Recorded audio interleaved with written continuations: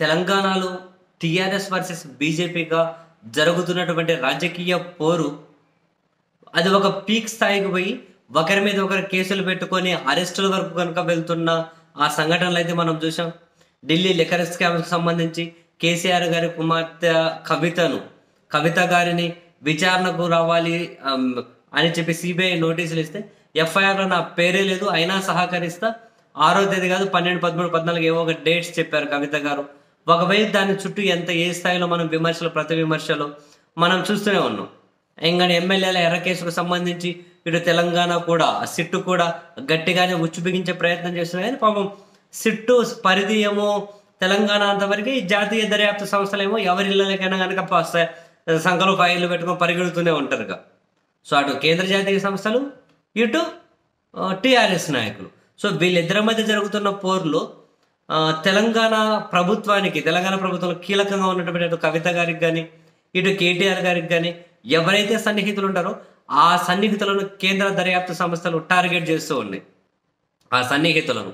So అందులో క్రా- అందులో భాగంగానే క- కవిత గారికి సన్నిహితులుగా ఉండే ఆ శరత్ చంద్రారెడ్డి కానీ మరొకరు మరొకరు కానీ కానీ అతనే ఉచ్చుబిగిచ్చి అరెస్ట్ చేశారు. అండ్ అదే సమయంలో కేటీఆర్ గారి సన్నిహితుల మీద కూడా జాతీయ దర్యాప్తు సంస్థలు టార్గెట్ చేశాయి. మనం మొన్నటికి మనం చూసాం ఇప్పటికీ వాసవి సుముద్ర ఫినిక్స్ ఇటువంటి సంస్థల మీద దాడులు చేశారు. వీళ్ళందరూ కూడా కేటీఆర్కి సన్నిహితులే. అండ్ తాజాగా ఈ రోజు పొద్దున్న నుంచి కూడా వంశీరామ్ బిల్డర్స్ని టార్గెట్ చేసింది ఐటీ. ఇప్పుడు ఐటీ టార్గెట్ చేస్తారు. ఏమైనా అవి ఇవి లెక్కలు తేడాలు వచ్చాయని చెప్తారు. ఐటీ వాళ్ళు ఈడీకి చెప్తారు. ఈడీ వాళ్ళు వస్తారు. నెక్స్ట్ స్టెప్ ఎఫ్ఐఆర్ ఫైల్ చేస్తారు. నెక్స్ట్ ఆర్ఎస్ల వరకు వెళ్తారు. నెక్స్ట్ దీనికి లింక్ ఉన్నాయి అని చెప్పి ఇంకేమన్నా అటు కవిత గారికి నోటీసులు ఇచ్చినా కేటీఆర్ గారికి నోటీసులు ఇచ్చినా కూడా ఆశ్చర్యం లేదు. ఇప్పుడు బేసిక్గా ఈ వంశీరామ్ బిల్డర్స్ మీద ఐటీ సర్చ్ జరుగుతున్నాయి. దాని ఏమిటి తిక్కవరపు సుబ్బారెడ్డి ఇంకో మేనేజింగ్ పార్ట్నర్ వాళ్ళ బామ్మర్ది జనార్దన్ రెడ్డి అని మల్లికార్జున రెడ్డి సీఈఓ డైరెక్టర్లు చాలా మంది ఉన్నారు. వీళ్ళందరి ఇళ్ళలోనూ ఏకకాలంలో ఐటీ సర్చెస్ అనేవి జరుగుతూ ఉన్నాయి. ఈ వంశీరామ్ బిల్డర్స్ ప్రస్తుత తెలంగాణ ప్రభుత్వానికి చాలా దగ్గర సంబంధాలు ఉన్నాయి. సన్నిహితంగా ఉంటారని చెప్పి అందరికీ గవర్నమెంట్ అందరికీ తెలుసు. అండ్ వాళ్ళేం వంశీరామ్ బిల్డర్స్ ఏం కొత్త కాదు. దాదాపు దశాబ్దాల కాలం నుండి వాళ్ళు కన్స్ట్రక్షన్ ఫీల్డ్లో ఉన్నారు. ఒక హైదరాబాద్లోనే వాళ్ళు దాదాపు తొంభై ప్రాజెక్టులు ఏమో కట్టారు. ప్రస్తుతం హైదరాబాద్లో తొమ్మిది కమర్షియల్ కాంప్లెక్స్లు వాళ్ళు నిర్మిస్తూ ఉన్నారు. ఆ చేవేలి దగ్గర రెండు వందల యాభై ఎకరాల పైన ఒక ఫామ్ ల్యాండ్ గానే వాళ్ళు డెవలప్ చేసి అది అమ్ముతూ ఉన్నారు. చాలా పెద్ద సంస్థే. అయితే వాళ్ళు తెలంగాణ ప్రభుత్వంతో సన్నిహితంగా ఉండి అక్రమంగా అనుమతులు పొంది భారీగా కన్స్ట్రక్షన్ చేస్తూ ఉన్నారు అని చెప్పి కొన్ని కేసులు కూడా కోర్టులో నడుస్తూ ఉన్నాయి. ఒక వీళ్ళగానే కాదు. ప్రభుత్వానికి దగ్గరగా ఉన్న మరికొందరు అక్రమంగా అనుమతులు పొంది భారీగా ఇట్లాంటి నిర్మాణాలు చేపట్టి అమ్ముతున్నారు. తద్వారా ప్రభుత్వ పెద్దలకు పోవాల్సినటువంటి వాళ్ళ వాటలు వాళ్ళకు పోతున్నాయని చెప్పి రాజకీయపరమైన విమర్శలు ఉన్నాయి కోర్టులలో వివాదాలు ఉన్నాయి. ఇన్ని రోజులు సూచిస్తున్నట్లున్నారేమో ఐటీ వాళ్ళు కానీ ఇంక ఇప్పుడు తెలంగాణ ఎన్నికలు కనుక దగ్గరకు వస్తూ ఉన్నాయి కాబట్టి అండ్ అదే సమయంలోనే తెలంగాణ ప్రభుత్వంలో కీలకమైన వాళ్ళని టార్గెట్ చేయడం. అండ్ అవసరమైతే నెక్స్ట్ ఎన్నికల్లో తెలంగాణకు ఏవైనా కనుక నిధులు ఏ విధంగా వెళ్తాయో డబ్బు పంపిణీ ఎక్కడి నుంచి స్టార్ట్ అవుతుందో స్ప్రెడ్ అవుతుందో వాళ్ళ అన్ని దారులు మూసేసే ఒక ఎత్తుగడ కూడా కావచ్చు. లేదు అంటే ఇంకేమైనా అరెస్ట్ల వరకు వెళ్తారేమో తెలియదు. సో ఈ క్రమంలోనే వీళ్ళందరినీ టార్గెట్ చేశారు. వంశీరామ్ బిల్డర్స్ని టార్గెట్ చేసి దాని వెనక డెఫినెట్లీ ఎందుకో గురి కేటీఆర్ గారే కనిపిస్తూ ఉన్నారు. అంటే ఇప్పుడు వంశీరామ్ బిల్డర్స్లో ఐటీ సర్చ్ చేస్తూ ఉన్నప్పుడు దీన్ని బేస్ చేసి ఆంధ్రప్రదేశ్లో కనుక సర్చ్ జరుగుతూ ఉన్నాయి.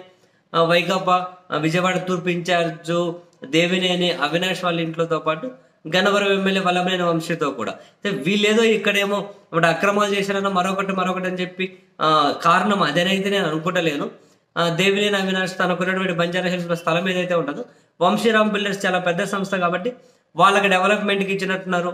మరో దగ్గర కనుక మరో వ్యవహారంలో వల్లభనేని వంశీ గారు కూడా డెవలప్మెంట్కి ఇచ్చినట్లున్నారు. ప్రస్తుతం మనకున్న సమాచారం ప్రకారం వాళ్ళు వాళ్ళకి డెవలప్మెంట్ ఇచ్చిన దానికి సంబంధించి ఆ లెక్కలు ఆ వ్యవహారాలు చూడడం కోసం మాత్రమే ఐటీఎం సర్చ్ చేస్తూ ఉన్నట్లుంది. ఈ కంపెనీ అక్రమాల్లో వాళ్ళకు భాగం ఉంది అని చెప్పి సర్చ్ చేస్తున్నట్లయితే నేను అనుకుంటలేను మనకున్న సమాచారం. బట్ ఏంటో తర్వాత ఐటీ అధికారులు ఏదైనా ప్రెస్ నోట్ రిలీజ్ చేస్తారో అప్పుడు తెలుస్తుంది. సో మొత్తం మీద ఒకటైతే ఫ్యాక్టు టిఆర్ఎస్ తోటి ఇక్కడ అధికార తెలంగాణ అధికార పార్టీతో పాటు సన్నిహితంగా ఉన్న కంపెనీస్లను కేంద్ర దర్యాప్తు సంస్థలు టార్గెట్ చేశాయి. అండ్ వీళ్ళతో ఏమైనా కనుక వ్యవహారాలు నడిపినటువంటి ఆంధ్రప్రదేశ్లోని అధికార పార్టీ కానీ మరొక పార్టీ మరొక పార్టీ కానీ ఆ ప్రముఖులు ఎవరైనా ఉన్నా కూడా సో ఈ లింక్ వెళ్ళి వాళ్ళ దగ్గర కనుక వెళ్ళి వాళ్ళ ఇళ్ళలో ఐటీ అధికారులు వెళ్ళేంత వరకు అయితే వెళ్తూ ఉంది. మరి చివరికి ఇవన్నీ ఎక్కడికి వెళ్ళి అవుతాయో అండ్ తెలంగాణలో నెక్స్ట్ ఎలక్షన్స్ అయిపోయేంత వరకు ఇటువంటి పీక్ స్థాయిలో జరుగుతూ ఉంటాయి. ఎందుకంటే ఎక్కడ ఎన్నికలు జరుగుతూ ఉంటాయో అక్కడికి వెళ్ళి పనిచేయడం కోసమే కదా కేంద్ర దర్యాప్తు సంస్థలు. వాళ్ళకి వేరే పనేం ఉండదు. రాజకీయంగా కేంద్ర ప్రభుత్వ పెద్దల వాళ్ళకు ప్రయోజనం ఎట్లా చేకూర్చాలి? వాళ్ళ వాళ్ళకి ఎట్లా మేలు చేయాలని కదా వీళ్ళ ప్రయత్నం. వాళ్ళు ఉన్నదే వాళ్ళ కోసం. ఎక్కడ ఉరకమంటే అక్కడ ఉరుకుతారు. తాళ్ళు వదిలిపెట్టడమే కదా వీళ్ళ మెల్లో ఉన్నవి వదులుతారు దుంకుతారు వెళ్ళడం. సో ఎన్నికలు అయిపోయేంతవరకు తప్పదు. అండ్ ఆంధ్రప్రదేశ్లో ప్రస్తుతానికి బీజేపీకి స్కోపు ఛాన్స్ లేదు కాబట్టి ఆంధ్రప్రదేశ్లో ఇటువంటి హడావిడి ఉండకపోవచ్చు. తెలంగాణ ప్రభుత్వంతోనూ ప్రభుత్వంతో క్లోజ్గా ఉన్న సంస్థలతోనూ ఏపీలో ఎవరైనా క్లోజ్ ఉంటే ఈ దర్యాప్తు సంస్థలు అక్కడి వరకు కనుక ఖచ్చితంగా వెళ్ళి ఆగుతాయి అంతే.